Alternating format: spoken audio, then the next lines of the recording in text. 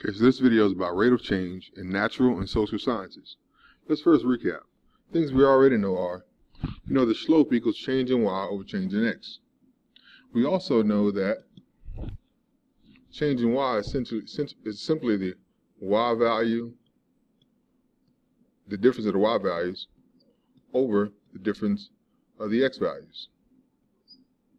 So, if that's y sub 2, if we had an equation, y sub 2 is essentially f of x sub 2. If I want to find y sub 1, it's essentially f of x sub 1. x sub 2, x sub 1, still the numbers we're looking at. So you know all these things are true. You know the slope is changing y over changing x. Changing y could be expressed this way, or you could express it this way. And all that represents slope. What we also know is slope of tangent line equals the derivative. Slope or slope of tangent line equals the derivative. And we know that the derivative was equal to the limit as h approaches 0 of the function f of x plus h, subtract f of x over h. And at some point, we decided, I might not explain it in the reading, at some point we decided that h was essentially the change in x. Essentially where we got this h from is as, h, as the change in x got smaller and smaller and smaller, you could get a, a line that's closer and closer to the slope at that point. So, all right, and so what we also know, I may not mention this, but in somewhere in the reading, you might have noticed that h was a substitution for change in x. All right, so h was basically a substitution for change in x. This is still change in y. This is the first x, and this is x of 2. H was basically represented by change in x. That triangle means change in. So H, H was change in x. So when we said H approaches 0, we're really considering when the change of x approach 0. So if you understand that in the graph, what we're really deciding was if I had some function here, and I was trying to find the derivative or the slope at some point, what we were looking at was if I had two points that were here and here, but if I chose to get points closer together, like instead of choosing this point, I chose a point that was closer to this one, I get a new line. If I kept choosing points that were closer and closer to it, I get a, a new line. And eventually, I'll get points really, really close. And I can actually find a slope at that line at that place because the points are very, very close together. So I think you might remember us using like decimals, like if x was 7 the other point we might use be 7.001 because we want to get close as close as possible. So that basically meant when the change in x approached zero, or as we said, h approached zero. All right, all that's just stuff we already know, we've been using, or whatever. I just want to make sure you understood that because this lesson is all about applying it in um, application settings in, um, in the natural world. All right, let's go on. Oh, but before we go on, also remember that derivative was equal to the limit of h approaches zero of that, which is definition derivative, is also equal to the instantaneous velocity.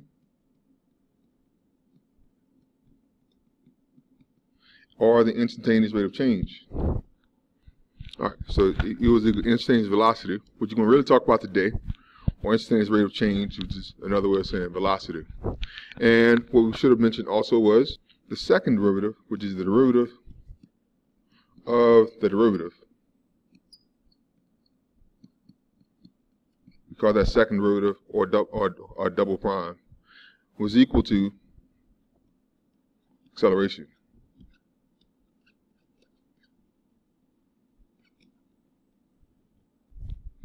We use the right um, derivative of derivative is y double prime. So it'll be a y with two apostrophes on it. So y double prime. Anyway, so that equals acceleration. All right, now let's go. Oh well. I should say one more thing. So let me erase some of this stuff. And using Leibniz notation, Leibniz, this is an N notation, um, the derivative would also equal to the limit as the change in x approaches zero of change in y divided by change in x. So essentially the same thing as this formula. He's just a different person. He has his name on it. And um, that's a different notation for writing the definition of derivative. Um, so this is Leibniz notation for the definition of derivative that we've learned so far. All right, now moving on. You know, S of t is, if S of t is the position of a particle that is moving in a straight line, then then change in s over change in t represents the average velocity over um, a period of time change in t. And and v equals the derivative of s with respect to t represents the instantaneous velocity of the particle. All right, this is of a note um, you can just have about to erase the screen moving forward. But before I go forward, I'm going to add something else to it.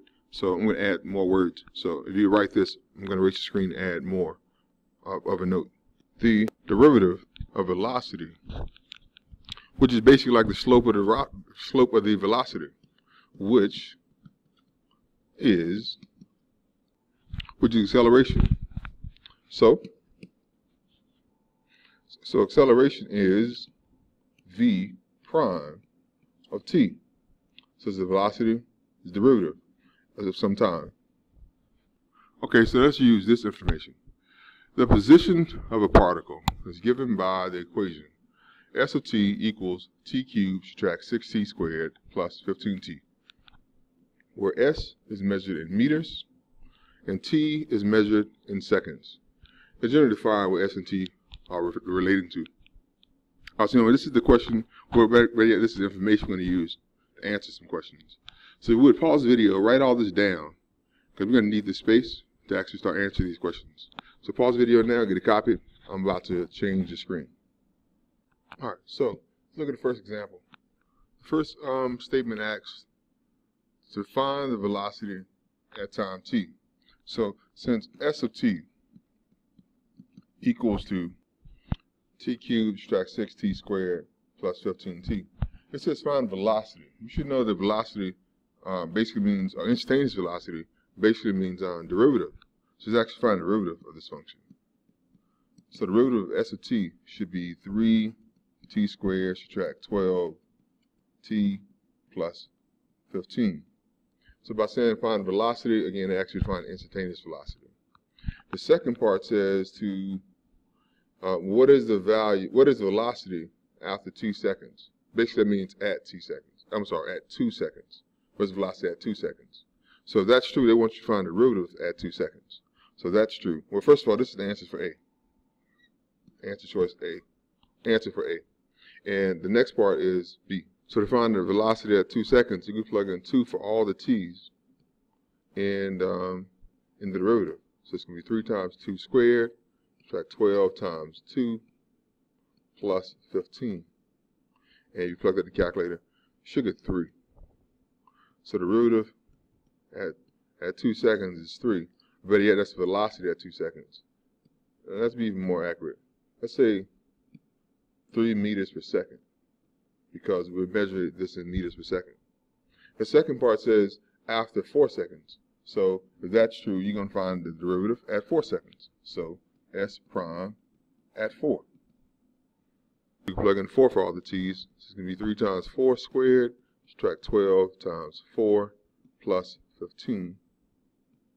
If you do the math for that, the velocity at 4 seconds should be 15 meters a second. Alright, so we just answered A and B from this. This is really small, so I'm going to rewrite it. Um, where, and write one question at a time so I got more space. So copy down whatever you need. I'm going to rewrite these questions one at a time as I answer the rest of those. But truthfully, if you want to go ahead and try to go without me and then try to catch up to see if you did, did them all right, feel free to start going ahead and, and actually start answering those questions. But if you want any of this as a note, I'll copy it because I'm about to change the screen entirely. Okay, so the second part says, when is a particle at rest? So let's think about that. What does it mean for a particle to be at rest, right? If it's at rest, it's not moving. So essentially saying, when is the derivative equal to zero. So given the derivative is given that's the derivative, basically saying when is that equal to zero? Three t squared subtract 12t plus 15. When is equal to zero? So given that equation, there's lots of ways you can find out when it's zero. You can try to factor. Uh, you can try to use um, quadratic formula. I see all these numbers are divisible by 3, so I might try factoring first. It's going to be 0 equals a 3, then t squared subtract 4t plus 5. That's great, they got a 3 there. I can write it away. So 0 equals to t squared subtract 4t plus 5. And that's pretty easy to factor. You might know that, that factors the b, uh, that's the x gain, so it's going to be 5 on top, negative 4 on the bottom. Look for numbers, multiply by um, 5, add up to be 4. Well, in this problem, there aren't any numbers, you can multiply by 5 and add to be 4. So that's not factorable. So we could try quadratic formula, which is negative b plus or minus square root of b squared, subtract 4ac. So you can find the zeros there over 2a. And that will give you 4 plus or minus the square root of 16 subtract 4 times 1 times 5. I can stop there and I can see that's going to be imaginary. Because 16 subtract 20 is negative 4, so it's imaginary. So it won't ever be 0. So that's true. Uh, this particle is never at rest. Never at rest. This particle is always moving forward. All right, let's go on. And the reason why it's always moving forward is there's no zeros. All right, you can't find a way of making that zero. Since you can't make it zero, it never actually get to the place where it stops. So that's why we say it's always moving forward. It could always move, it could be always moving backwards. Um, but considering this equation is, has a positive leading coefficient, I know it rises as you go to the right. So I know it's always moving forward. All right, going on. Okay, so the next example says, when is the particle moving forward? All right, so what we decided was it has to be always moving forward. But, you know, I like to have more than one way of making sure that I'm right. I could have more than one way of knowing for sure that I'm right. So let's graph it. Let's go to Desmos. Let's actually graph that equation. If you graph that equation, it looks like this red line here. So that's the original function, the original function s of t. So it looks like it never starts going downward. It looks like it's always rising. I'm going to zoom out a bit just to see if I'm right. And if I zoom out a bit, it still looks like it kind of starts flattening out there, but it doesn't. It just keeps rising. Like it would need a, a place where it bottoms out, like a bottom of parabola to be a zero. So since it never does that, it never actually bottoms out. If I zoom out some more, it doesn't actually come down again. So pretty sure that's never going to come down again. All right, so that's the first question. The question was, when is the particle moving forward? And it looks like it's always moving forward. Just make sure I'm right again. When we look at the derivative, I've already got the equation typed in for the derivative here. I don't know if you can see it or not, but this is it. So that's equation 3x squared, subtract 12x plus 15. It looks like my 3 got cut off the screen, but it's there. So when I graph it, I see the derivative function is here. And I notice the derivative is never beneath the x-axis, meaning that the velocity is always positive, so it never actually stops. The velocity is always positive, so this graph, this graph is actually always going forward, because all of the velocity is above the x-axis. So I'm pretty sure, 100% sure, this graph never goes backwards. All right, almost done. One last, well, another example. But the answer to this question would be always. Or you might say from negative infinity to positive infinity. With closed brackets. Like it never there's never a place where it's not moving forward. Alright, moving on. Alright, the next section of the question asks, draw a diagram that represents the motion of the particle. Well, we just did that in Desmos. The motion of the particle is the original function. So the original function is this red line. So this would represent the original, that would be a diagram that represents the motion of the particle. All right, going on to the next question. All right, the next part says find the total distance traveled by the particle in the first five seconds. So basically, the particle is represented by this equation. Or better yet, the movement of the particle is represented by this equation. If I want to know the total distance it traveled during the first five seconds, I want to know where the initial distance was, so s at 0, and I want to know s at 5. Good thing about s at 0, in this case, is basically means s of 0. So s at 0 basically means s of 0. s at 5 means s at 5, because it's 0. So s at 0 is what I want to know, and s at 5 is what I want to know. s at 0 should be 0. Everything goes to 0. S at 5 should be, S at 5 should be 50. So if I were to find the distance from 0 to 5, I basically want to start at the right and start backwards. So 50 subtract the original distance is 50.